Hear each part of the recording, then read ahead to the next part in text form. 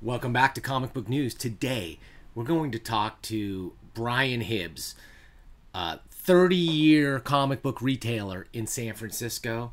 I learned a lot of stuff from Brian over the years, and today he's going to tell us a little about his history in the past, present, and future of Comix Experience.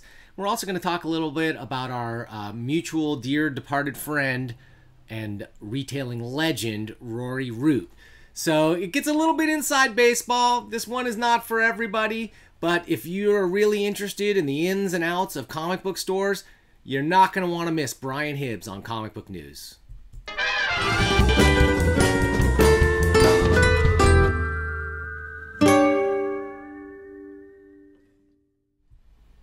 Brian Hibbs, welcome to Comic Book News. Thank you so much for uh, taking the time to talk with us a little bit about about you and about comics.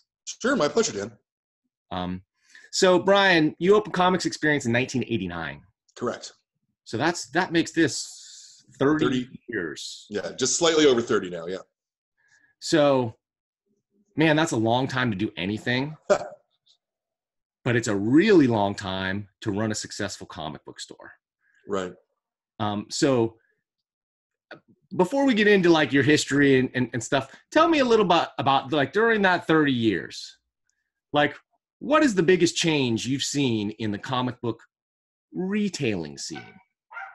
Yeah, I mean, I think the the most obvious change would be the way that comics and the comic shop have moved from being back issue centric to being book centric uh, or or pop culture centric or whatever the other possibilities are. But certainly, when I opened 30 years ago, every comic shop was a back issue store first and foremost, Yes. and everything else was layered on top of that. Um, the whole center of my store was all back issues back then. Uh, the majority of comic shops. That's what they were about was selling back issues. And and that was what made the mechanism of the periodical work of course right? Because if you if you don't sell all your periodicals in the first 30 days then you have a way that you can continue to move them through the back issue. And so you know i would say that the the not the death but the strong strong strong strong decrease in the back issue uh is is probably the thing that drives the way that retailers act and react more than almost anything else. Yeah, I, I mean, I, think that the um, uh, the periodical thing and the back issue things, man, they come in waves, right? It seems like we're back in another wave where back issues are ascending, if not, you know, totally, but are, are, are back on the rise again, right? I'm sort of seeing that out in the in the in the wild. Right. Yeah. I mean, I think I think there's two different things that you can talk about. One would be um, uh, the rise of the speculator. I mean, the speculator and short-term flipping of books is a huge thing right now. It's also a thing that we as a business should be avoiding in every way, shape, and form because it just doesn't lead any place good. The other the other thing that happens is the high-end back issue market. But in order to play in the high issue and back issue market, you have to be very capitalized. You have to have dedicated people you, you need a you need a business model that's laser focused on that and i i don't really believe that most stores are interested or capable at, at this moment in time of, of doing that you know? Certainly my other store outpost is a back issue store but it even there it's it's very it's very difficult to make that actually work profitably because of the sheer bulk of of non-commercial things you have to carry in order to get a reputation and, and a size of a business large enough to to carry the higher end stuff Not to mention the storage costs, the labor costs, Sure, the sure. constant repricing, the keeping up with the Sure. speculation. I, sure I've come, I've come a like, I shopped at your store when I lived in San Francisco a lot. I shopped at all the stores, right? Sure. And the one thing I noticed, I think you, uh, when I was shopping at your store, was after you had made the transition, like the back issue bins were shrinking and, and, and decreasing, and that was obvious in the industry. I, I really think the back issue thing was the opportunity that allowed for the creation of the great uh, of the of the direct market, right? It was the it was the lack of availability of anything on the newsstand and just the complete lack of desire for back stuff that created that in used bookstores and led to the rise of the DM. Mm-hmm. Um, and then with the rise now, so so to me, it's been all about windowing. Like the entire comics industry from then till now, release and availability and window of availability seems to be like a driving factor for the business model of selling comics if if that makes sense to you at all right? Like yeah yeah i mean i yeah it, it is um it is but i don't know i don't know in today's pop culture world that it's as necessary as it was you know well i think that though that the windowing i mean it's so common in other media right like your tv show is played on tv once a week with commercials. You get the most money for it. And then you know it sure. goes to DVD, and then it goes to syndication, and then sure. it goes to whatever. Sure. And I see that in comics is that once the once the graphic novel was accepted, not as a an inferior reprint that reduced collectability, sure. um, Which that, that right? That then that knowledge of well i mean there's a whole collectible angle on the book end too that i never saw come in the graphic novel end. Um, but that windowing now it's like nobody has seems to have like taken that as seriously and consistently as in other media. There's such a weird disconnect to me between the scheduled release of collected material and comics material especially from the big players Image seems to get it. A smaller guy seems to get it. Like they put out their comics for a certain window, boom, trade paperback, and then that becomes the vehicle for sales over sure. the long haul. Sure. And I just am not seeing it as consistent. Like it's not, not what, what books are going to come out as hardcovers? What books are going to come out as soft covers? What books are going to take a year? What books are going to take six months? I, if I'm a consumer of serial entertainment, it's much easier for me to get a consistent fix these days by going to the comic store every week and picking up the issues. Like it's sure. it's it's dribs and drabs, but it's mm-hmm. feeding me, right? It's feeding that mm-hmm, addiction. Mm-hmm, mm-hmm. And, and, so now that we, we when you shatter that window, if you will, and now people are used to waiting for the trade, no matter how long that takes, and if it takes a year, you might forget about it. It's just right. changed the whole way that comics are sold and thought about and collected by the general public as, well, sure. well I mean uh, and this is a thing I've been talking about for a long time. I mean I I think it is I think it's actually extraordinarily foolish that Marvel and DC in particular made it a policy that absolutely every single thing that they publish gets reprinted in a book format because because that's what led to waiting for the trade.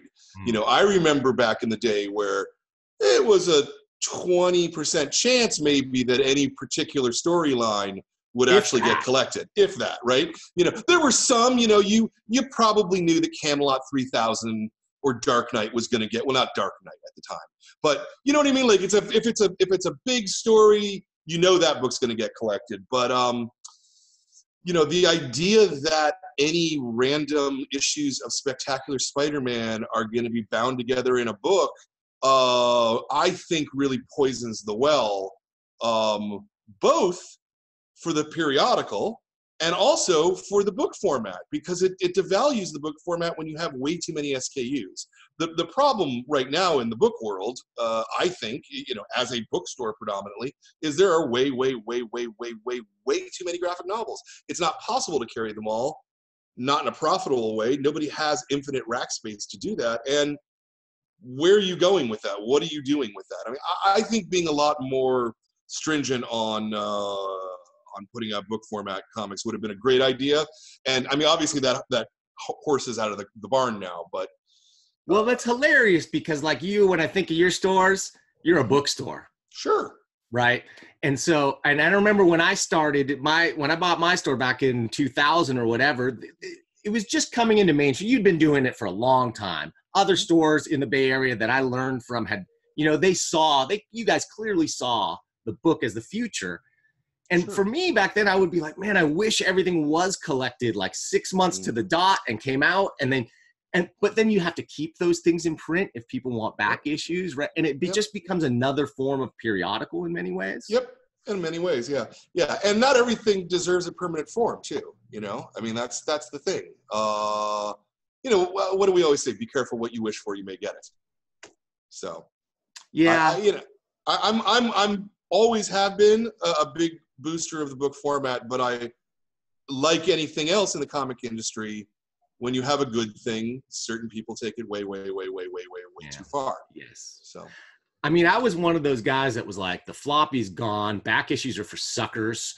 These Right. flop, these pamphlets are going to go away, and I'm going to Yeah. be a bookstore eventually. right, It never happened to me. happened. yeah, It didn't happen to the industry. sure, I don't think it's going to happen to the industry, short of a complete collapse of the direct market and periodicals in general. but even even possible. but even then, it still probably wouldn't work. I I if I didn't have periodicals driving foot traffic in my store, I don't know that there's enough. I mean, well, no, there are enough book releases. I just, it's not the way people shop, right? Like a lot of times we make decisions either based on on our projection of what we think customers do or our aspirational nature the the way that we think that oh comics revolve around wednesdays and the wednesday warrior right but i actually analyzed my sales i went and analyzed a year's worth of sales actually two years worth of sales because i wanted a big enough window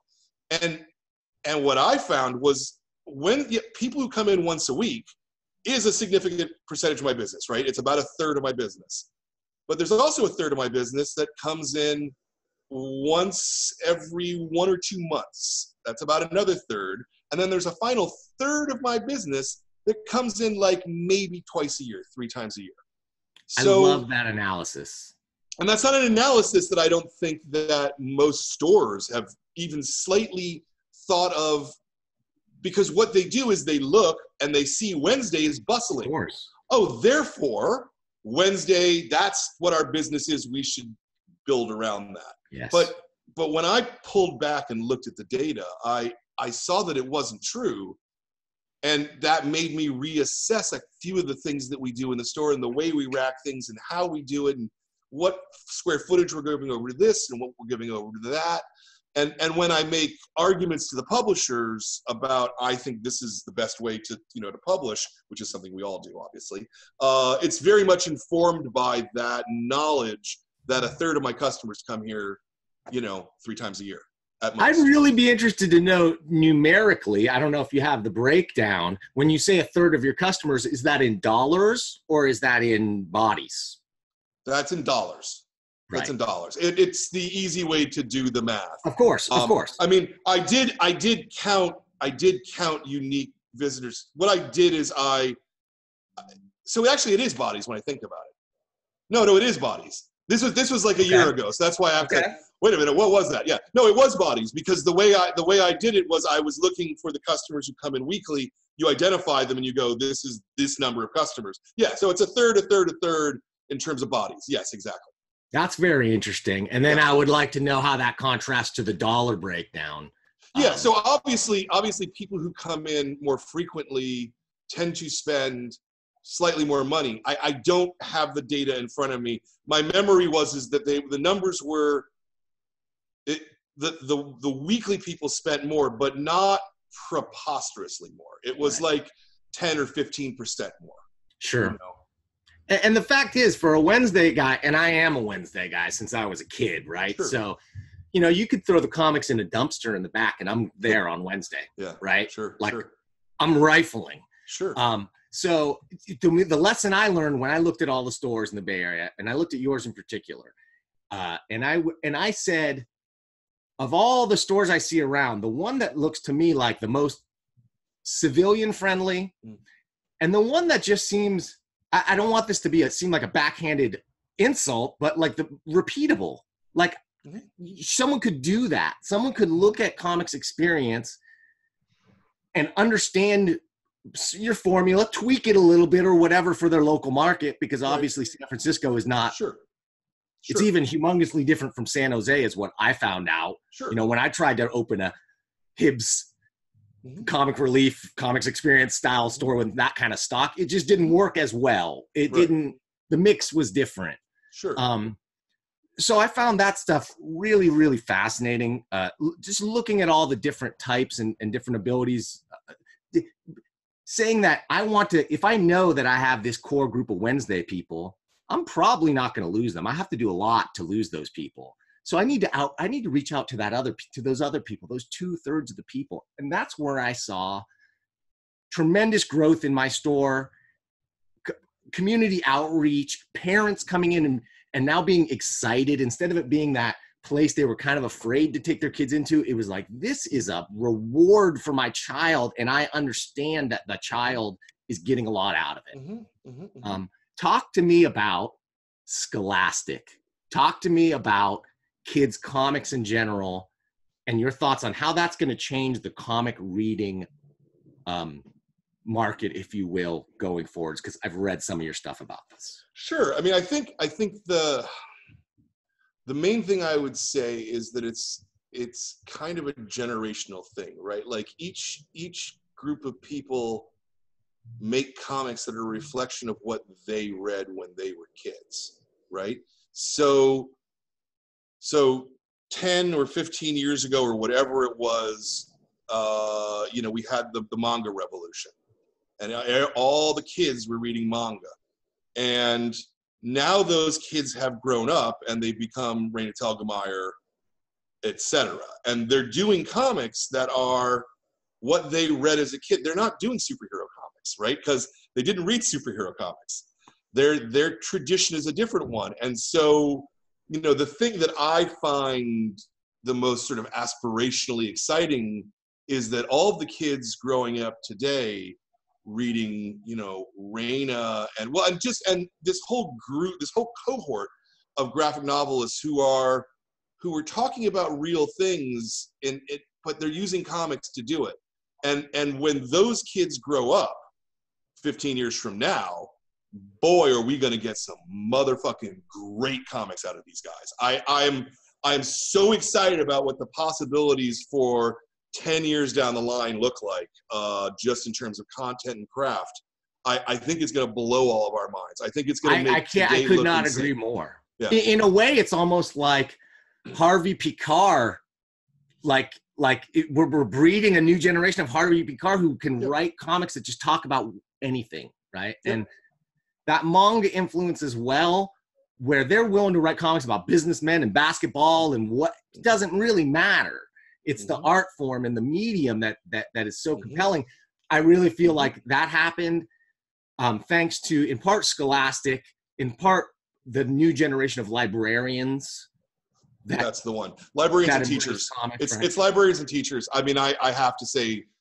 you know there's there's only so much that that us you know uh, uh, bearded men sitting in comic shops can do to convince people that you know uh, comics are a valid medium. Uh, it, it really took the librarians and teachers, you know, going well, breaking with the tradition, because you, know, you know, so obviously the thing to remember in in America about all things always is that we're a puritanical culture, and and and we we frequently eat ourselves.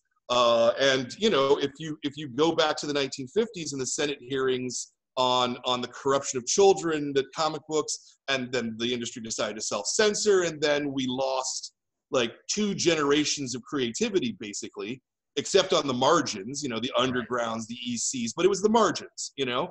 Uh, and it made society think that comics were for idiots, right?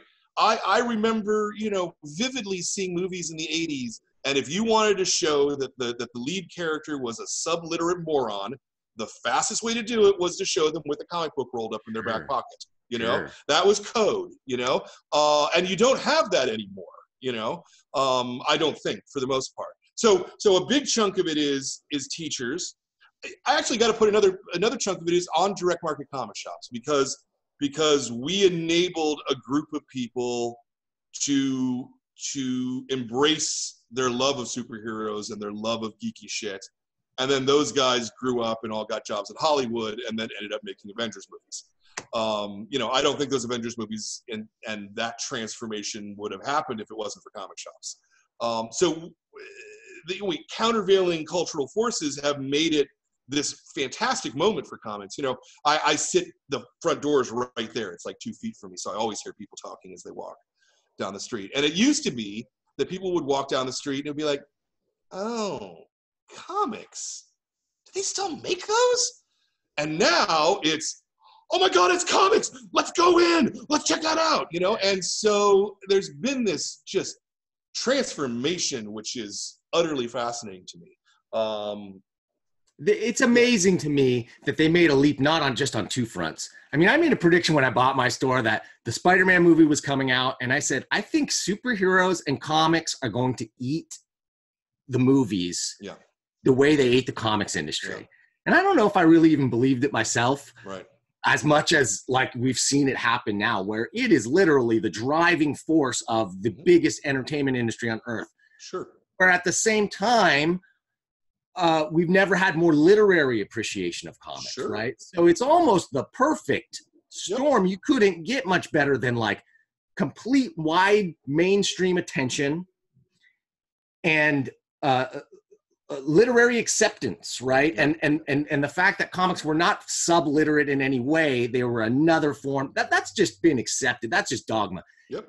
Anybody now who says otherwise just seems hopelessly out of touch. Sure. We're Um, trying to pick a fight. You know, there's there's a whole lot of people who are trying to pick the fights. True, especially, especially on the internet. Bill Yeah. And those guys. Yeah, yeah. So okay, Brian.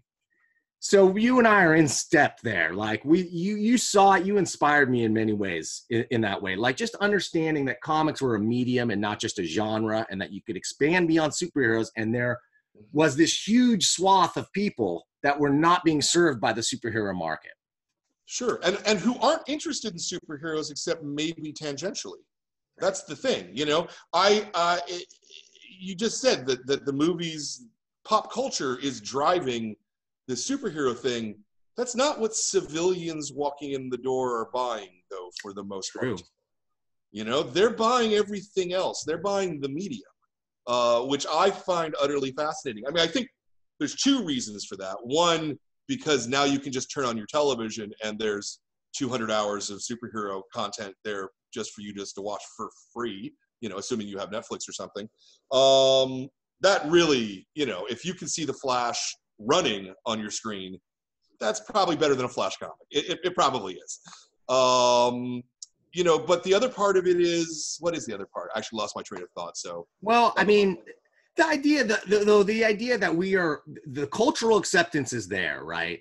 But there's still a there's still a struggle. Like there's a retail struggle in general. Comic Sure. stores aside, right? Retailing is taking a hit, and you can blame Amazon, you can blame the internet, you can blame traffic. There's so many factors to that. Um, but there's also there's another squeeze going on, and this is particularly for you in a city like San Francisco.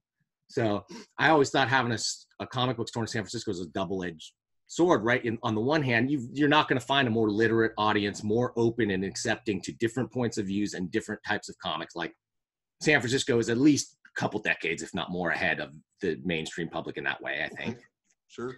Um, but it's also the most expensive place in the world to live, Mhm. let alone to have a retail store, let alone now to hire people and be mandated by the city what you have to pay those people. Sure. I know that you're I know enough about you that you're a progressive guy who thinks people probably should have a living wage, right? I, I would, yeah, I would love to. I can't pay someone a living wage though. It's literally not possible. So this I- is where I this is what I want to hear. I yeah. want to hear it from a guy who believes in Sure, it sure, but knows yeah. the reality of it. Yeah. I mean, I believe in it. And I I don't make a living wage by San Francisco standards. The only reason I can live in San Francisco is because I bought a house 25 years ago, and and so my mortgage is really really low.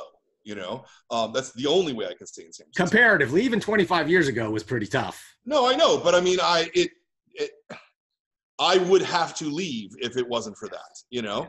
Uh, but I can't leave because I own a retail store, and so what the hell else could I possibly do? Two of them. You know, two, two. I know, but it's not like you can move. You can just pick up and move. That's though, right. though Nancy Mechanic Comics Unlimited is apparently doing that. She's she's moving from uh from Los Angeles to Tennessee. Minnesota? Tennessee. There you go. And right near like, Chattanooga, Tennessee. Yeah. I, I I am I'm going to be fascinated to see if that works even a little bit because I I don't see how you do that. I, I don't think you can just up stakes and change. I've never been to know? their store, but I've seen enough pictures and I know them enough to know that it seems like a pretty translatable business as far as like um you know, it's what people would expect out of a really Sure. good comic book store. So I think that they have a, a potential to do well. I know that that area, Yeah.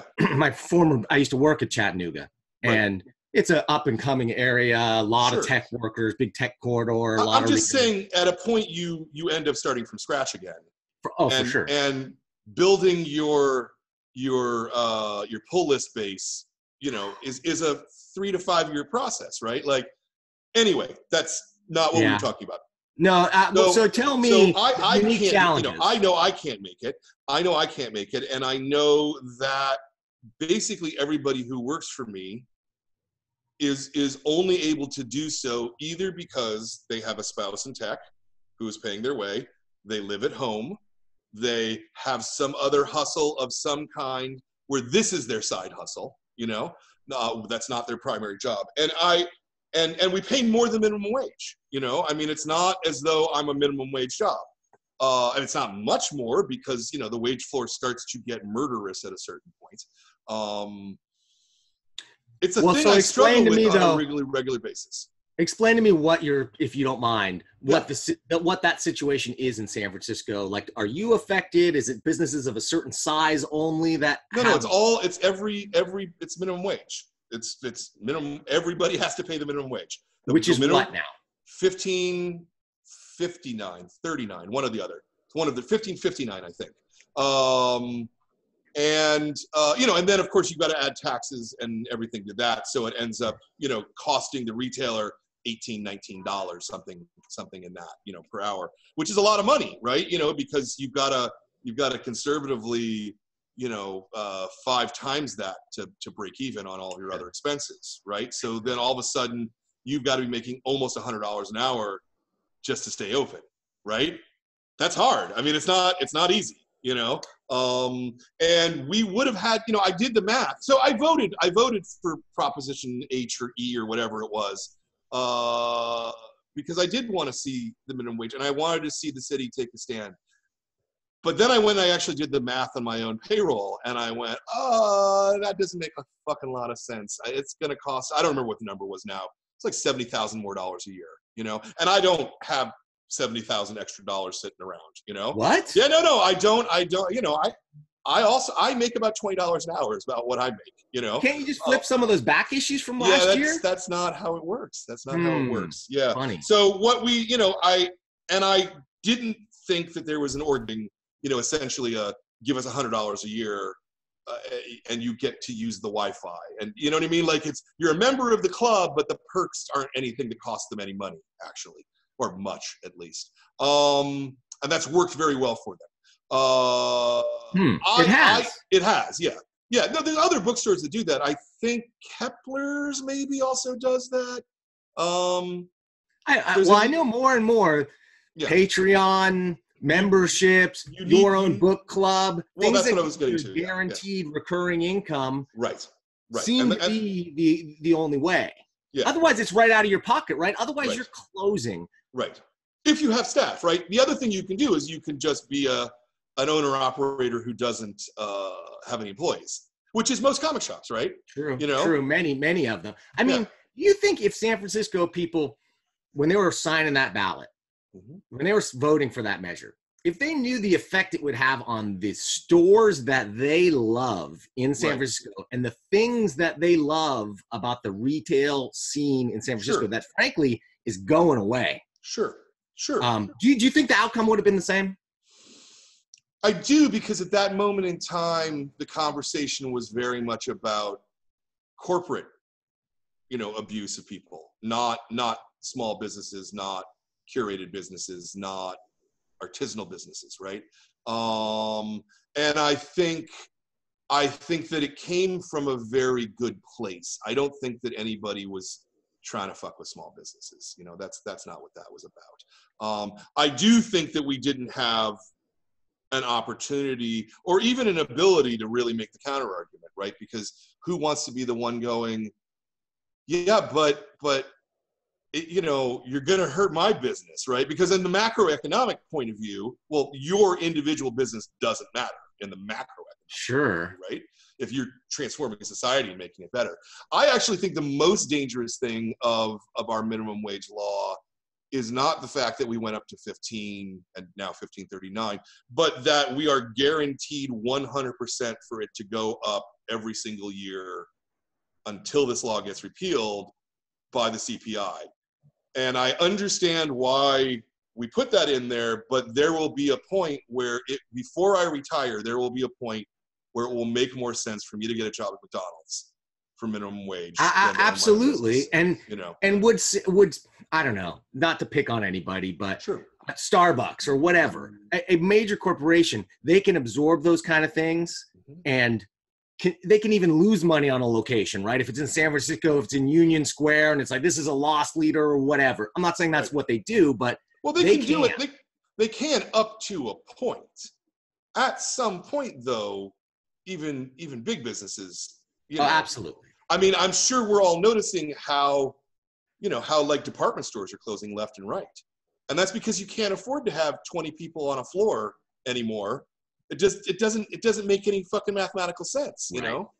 But then Even we're also driving those decisions of those sure. big corporations to install kiosks and robots sure. and all sure. these other things that will edge out humans. Maybe. Um, we'll see. Maybe. We'll see what happens. We'll see what happens. I mean, I uh, I I would not be surprised if if you know literally the death of retail happened in my lifetime.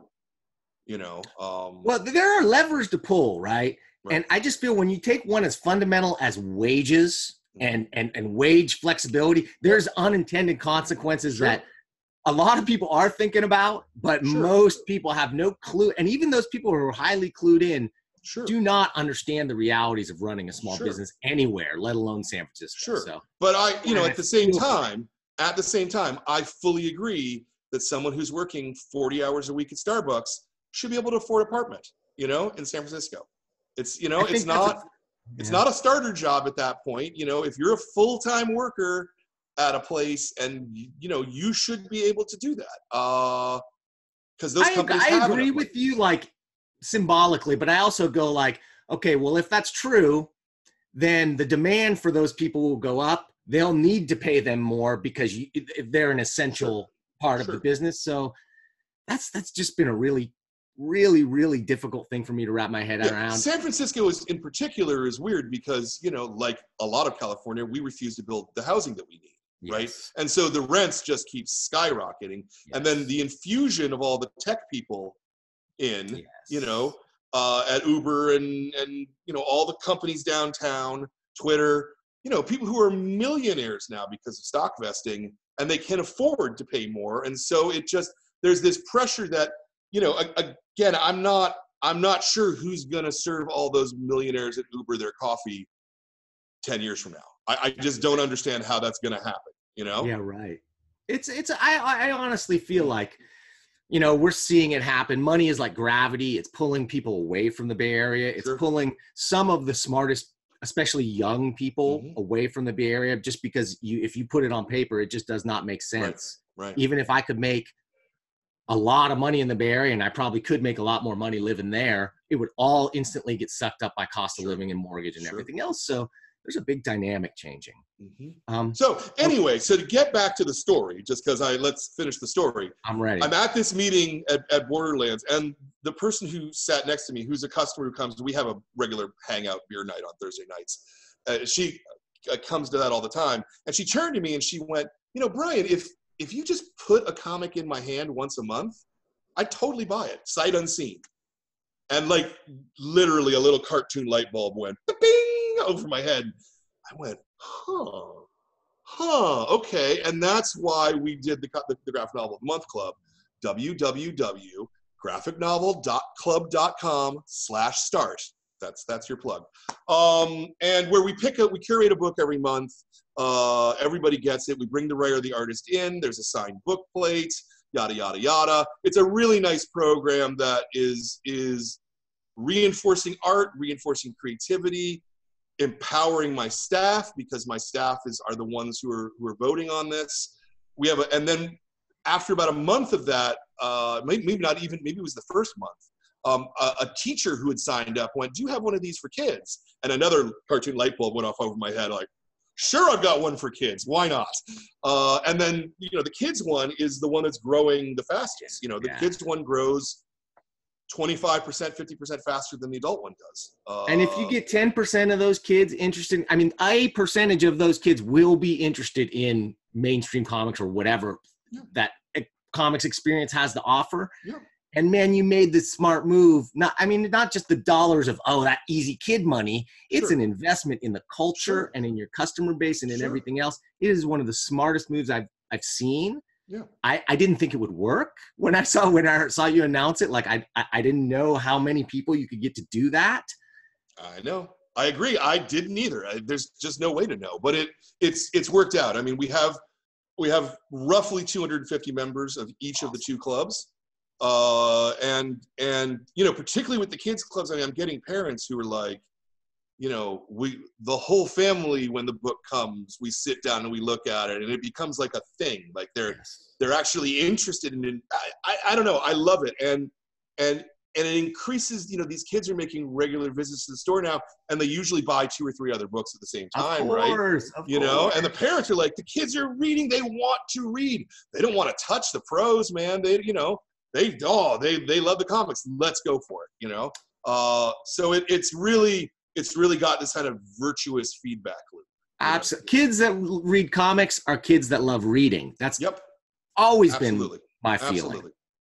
Brian, you've done that. I mean, that program alone, if that's all you did, mm. then um, you've done some really cool stuff. But man, I'm just going to real quickly just say thank you for so many of the things that you've done, starting with let's go to the Marvel lawsuit. I, we don't have to go into the details of that. Let's just say they, the publisher, Marvel, was doing wrong to the retailers. They lied. You called them on it you sued them on it you put thousands of dollars back in the pockets of retailers right right that alone yeah. puts you on my route mount rushmore yeah i mean you know the the worst part not the worst part because the result ended up being really good but like the whole lawsuit thing totally didn't have to happen you know i i tried for months to resolve this without suing them you know i i the last fucking thing anybody wants to do is to file a lawsuit, uh, especially a class action lawsuit. It is so much work. It is so much time. But uh, but they just wouldn't listen, you know. And and it and the thing about it, it was so clear cut. They literally broke their terms of sales. There was no right. ifs, ands, or buts about it. It clearly said, "We will make these books returnable if," right. and then they didn't. You know, and and originally I thought we were talking about like 15 or 20 comics. And then we get into Discovery, and it's like, oh no, it's 250 comics or whatever the number was, you know, this preposterously long list. Like, if you had just, all you had to have done is go, oh, sure, we can, we'll take those 15 comics back. They, they, they would cost them $50,000 at most, and instead right. it cost them a million dollars plus their lawyers' legal fees. The and how much of that, and, and, and I'm guessing a lot if not most of the money went to the lawyer. I mean, that's how class actions work, right? They get a big chunk of the money and, and a lot on, of it goes on our side. No, so so there was a million dollars that was split among the retailer group. That there was an additional amount of money that was paid to my lawyers. Okay. I, I think it was like 150 or 200,000, something like okay. that. You Great. know, um, but it wasn't. It wasn't like the lawyers soaked it all up. Like we structured it so that retailers got their money back first and foremost. Okay. So tell me if this is right. I'm trying to connect some dots here. Yeah.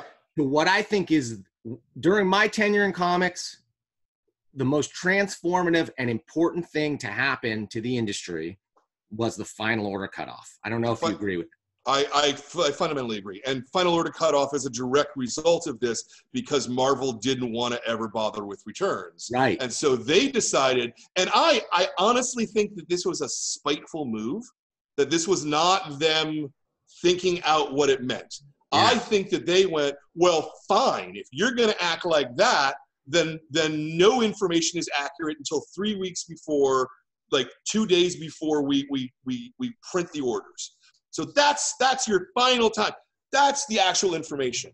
And but it actually turned out to be the best thing because because it shrunk our window from being two months roughly, uh, maybe as much as 10 weeks down to three weeks uh, of having, you know, kind of our, our balls on the line. You know, it, it transformed the way I ordered comics. Yep. It transformed the the the all of the calculations I did on comics. Sure. In some ways, it might have led to this titles getting like rapidly canceled because the final order cutoff is that much more. But in my mind, that's a good thing, right? That's Sure. an increase in the evolutionary process. Sure. Um, but to I me, mean, I, you know, I think yeah. I think there are current currently there's certainly some problems. Uh, for example, publishers adding covers at at Oh final my order gosh. cutoff.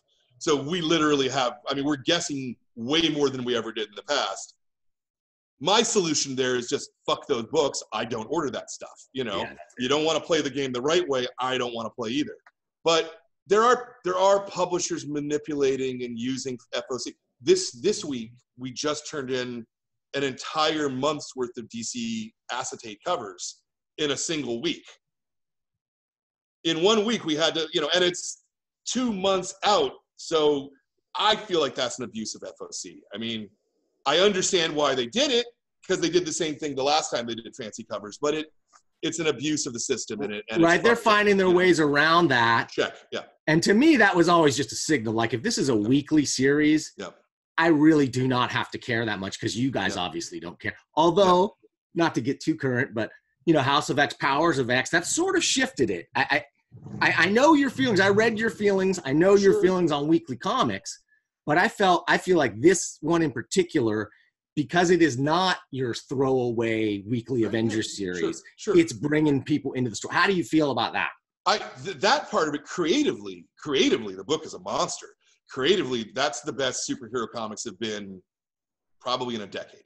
You know, um, I'd probably go. I'd probably go back to All Star Superman as the last thing that I've you know Mhm. kind of enjoyed that much and actually got what the characters were about. Um, but you know, mechanically, as an ordering process, it's still fucked up. I mean, here we are at week eight, I want to say, and I still have no idea how, how many copies to order.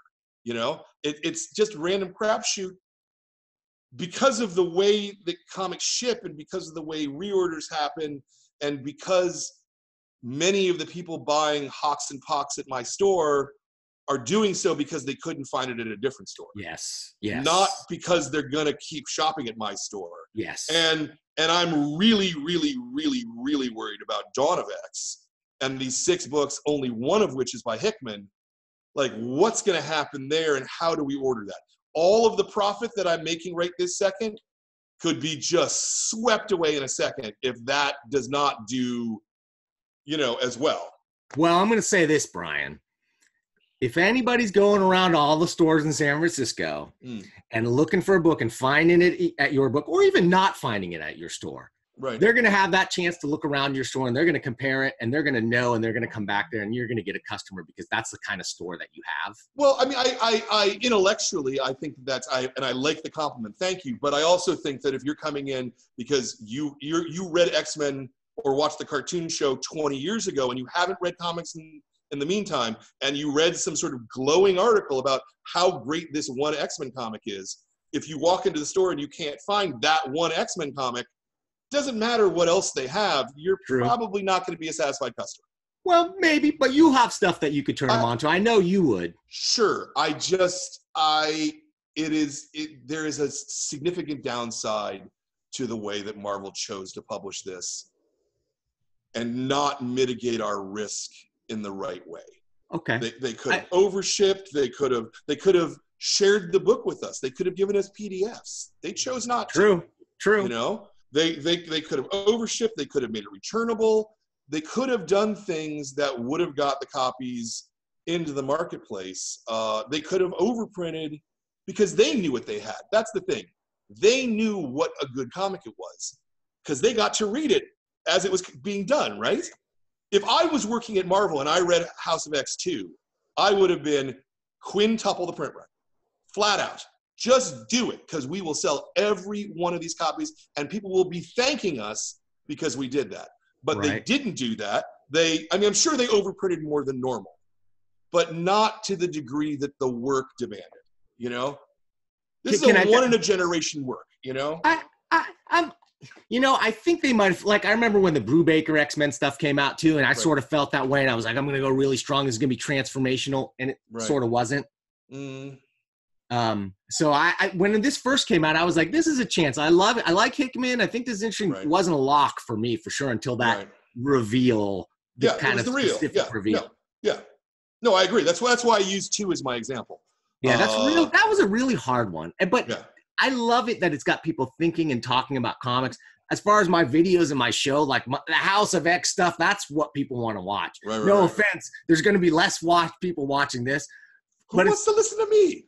but it's going to be the right people, Yeah, Brian. sure, sure, sure. Um, okay, so I have uh, uh, just one one other piece here. So, um, in regards to uh, the future of retailing and crowdfunding, I just want to hear the Hibbs take on Kickstarter, and and does that work with comic sto- stores? Is it fundamentally at odds? Is it a replacement for the direct market, perhaps? Yeah, I mean, I I think it's potentially a replacement. Uh, so at the end of the day, I there are very few Kickstarters that are generating what I would call a real success. Right? There's like a you know check please. You know, Ngozi made I don't know a million fucking dollars off that. You know, and and she's set for life, which is fantastic. But but most people well and, and you know what part of it is too is that most creative people aren't business people right so yes. so most of them are going i i just want to i want to do my comic con i want to sell some copies oh i've got i've got 500 people who who kickstarted it i'll print 800 copies. You know and and not realizing well but then what happens? Like what that's great for this month maybe even this year but how do you how does that help you? Because the, the money in comics i think is is in books that have been in print for 30 years you know?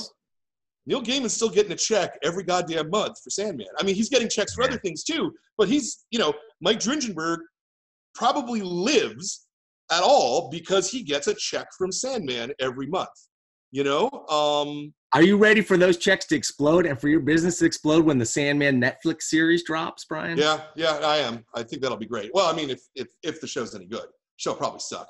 Um, but so I so I think that I think that most crowdfunding isn't isn't to leverage the crowd to then make your book a success. It's to capture those dollars in the short term and not to have a long term success. Yeah. And the fact that most of those get kept out of the direct market, Yeah. I feel is like a, you're not putting it in front of the people that are most likely to want comics. Sure. The other, but the other part of it, right, is that is that when you crowdfund, you're taking the biggest fans out of the Yeah, economic exactly. ecosystem, right? And so that's really tricksy, right? Like I've I've tried a couple of Kickstarter books, like you know, where I buy into the you know buy five copies and get the retailer discount, and they never sell. Yeah. They ne- they're and they look like good books, but that's because all the people who want them already bought them direct from the artist. You know, Right.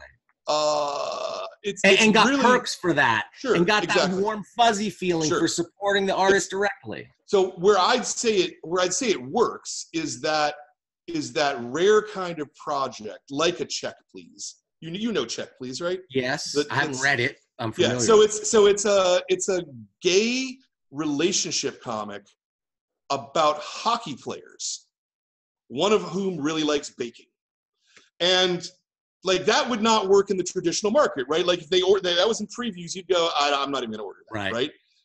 But she found this whole audience outside of comics, and then it got picked up by First Second because they saw what the potential there was, right? So for that kind of thing, where you make where you're you're finding an audience that is not going to be served in the comic shops, right?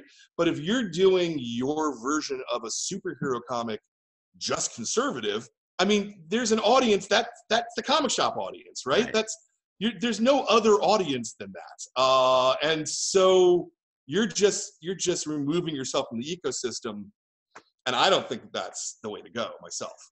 what what I've always thought is I've wondered, like, and we've seen it happen a little bit, where the superstars of comics from mainstream publishing put out their own and try to capture their fan base and pull it into something that they that they could totally control. Mm-hmm. And and and like you said, most of them are not businessmen, so or business people. Sorry, people. and uh, so that they they one maybe they'll have a successful book, but they don't know how to capitalize that and turn that into a publishing venture because that's sure. not what they do. Sure. Um, sure. And we can also you know, we can also look at like real world people who try to do it. Now, some of them have had success, like the Veronica Mars movie, I guess, made a bunch of money for them. But, you know, I always think about uh, when Stephen King serialized a book.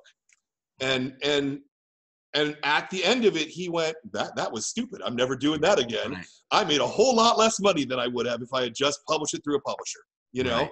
because, because these structures exist to publish things to to market them to to move them to design them to yes. edit them there's a whole business and infrastructure there's retail stores the direct market is 24 2500 dedicated passionate believers in the medium why would you not want them hand selling your book? Why would you want to be outside of that market? That makes no sense to me. Now i get it if you're like yeah but i'm doing gay hockey players. They don't want that you know? Sure right? But that's not what most comics are uh, that are getting kickstarted. How, how's that book selling off the shelf for you uh, Check Please actually sells pretty well. We actually picked that as one of our graphic novel of the month club uh, picks as well. Uh, and again, people loved it once they once they saw it. You know, it's the kind of thing that people were saying, I I would never have picked this up off the shelf and, and bought it oh, but it's actually really, really good. Wow, thank you. You know, I mean, that's the great part about the Graphic Novel Club is, is turning people onto books that, you know, I, I wouldn't have I wouldn't have bought this, and yet it was one of the best things I've ever read. You know, I'm amazed. Sorry, I, didn't, I didn't mean to make that a plug again. No, that wasn't what I was trying to do. I, am amazed at the high level quality of that of, of that scene, the mm-hmm. comics. It's obviously people that grew up reading the masters and not just the superhero stuff. They read their Scott McClouds and they read their manga and they read their everything, and that stuff is synthesizing into this whole new wave of comics that is just fantastic. Brian, you're at the head of that curve. You've always been there. I try. Yeah. You you've always been there. You've always had tons of advice, most of it awesome. Mm. The occasional one that I took oh, and went sure. the other way, right? But who doesn't? Of course, no. But I'm, I'm. No one's ever always right. You know. Yeah. Well, there's one guy I want to mm. talk about for a second. Okay. He wasn't right. always right, but you and I both right. knew him very yeah. well. Yeah. Both yeah. learned a lot from. Let's talk yeah. for a second. This will we'll, this will be. We'll wrap this up soon, but this will. I want to talk a little bit about uh, a guy we both knew named Rory Root. Can you yeah. tell me how you met Rory, yeah. And and who he was, oh, maybe? So, well, yeah, I mean, the, how I met him. So we we uh, there was a chain of comic shops uh, here in the Bay Area uh, that had multiple locations, and uh, I was working and eventually became the manager of the San Francisco uh, branch, and Rory was man- working and eventually became the manager of the Berkeley branch. Okay. Yeah. Uh, and, um, uh, you know, both of us were not a fan of the boss, and both of us thought we could do a better job on our own. Uh, Rory got there two years before I did. Um, of course, Rory was also a couple years older than I was. Uh, uh, and, you know, he was my best friend in comics uh, by far. Um, you know, he he was the guy that at two o'clock in the morning, because I knew he would be up at two o'clock in the morning, because the man drank fucking fifty cups of coffee that were this big every right. single day. Uh, you know, and I I just like, oh, I had this thought about comics. He would be the person I would call, and and then, you know, we talk for two hours. Uh, uh, I, I always thought that that comic relief was i mean you, you were saying very nice things about this store now comic relief was was the aspirational for me that was mecca uh, mecca was was there well it was for me too i mean in many ways but i also just looked at it like something that i couldn't pull off i couldn't hmm. achieve mm. i couldn't achieve out of the gate and like to sure. get there i look i go like this takes decades to get sure. this and i don't know if i ever can sure and what i learned later was i'm not sure that it, how sustainable that that yeah no no i would i in fact i you know when we were saying he didn't do everything right no i mean I, the, the business model was not if he had the minimum wage that we do now, he the comic relief would not exist. I I, Yeah. I, I believe. And he also, you know, if he had one fault, Rory Root, it was that he he never met a book that he didn't want to hoard. And so you would you would walk into his store and there would be nine copies of some obscure thing on the shelf that literally had a layer of dust on them. And I'd be like, Rory, why don't you blow out six of these nine? Right? And and just get get your money back on them. It's like, no, because someday I'll sell them. And I mean, he was probably technically right. Someday he would sell them, but you can't hold on to things for for a decade to to to just you know make cover price back. You know, It doesn't. It, that's the. it doesn't. It doesn't work. You know. well, that's the difference between the passion, fully passionate Sure. comic store, Sure. right, and the fully practical comic book Yeah. And I think all stores are in that continuum. Yeah. Somewhere like I would put Yeah. Rory fully on the passion side. I would put yours more than 50% on the passion side. I, I- just in the sense of there are things I know that you stock in your store that are not turning the numerical amount of Yeah. times Yeah. to justify their spot in your store, right? Yes, So but but they're for the medium, and so I stock them because that's that's it's important to do that. You know. and they're for you Yeah. because you love the medium and you recognize the Sure. quality in them and you want that Sure. in your store so Sure. that was the that was what tore me in half in Yeah. comics you know Yeah. like man i wanted to sell Reid Fleming world's toughest milkman and i wanted to sell Yeah. more Fantagraphics stuff and i wanted to sell all this stuff that i saw at hibbs's store and i saw at rory's store Yeah, and I just, but the thing is, is I knew that Rory was struggling financially always, you know, Yes. and so, and so that was why I was like, well, sell some, get rid of the stuff that, you know, don't get rid of all of it, just get rid of some of it, and it'll be great, and then you'll have money, and then you'll be happier, and then you maybe you won't smoke 14 packs of cigarettes a day and eight cups of coffee, which you know ultimately is what killed him, you know? For I mean, sure. at the end of the day that's what that's what killed him. Uh and i i i miss him every day i it, he he was my best friend in comics and he he was an aspirational guide for me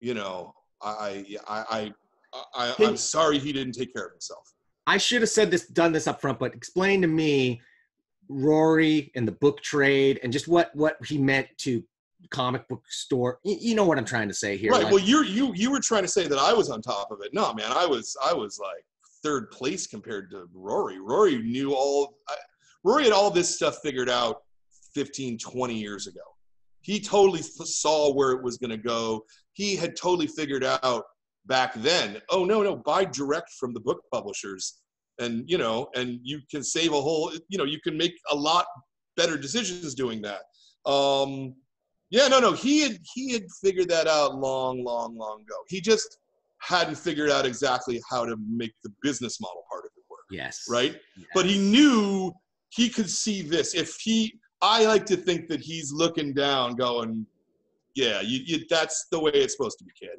You know?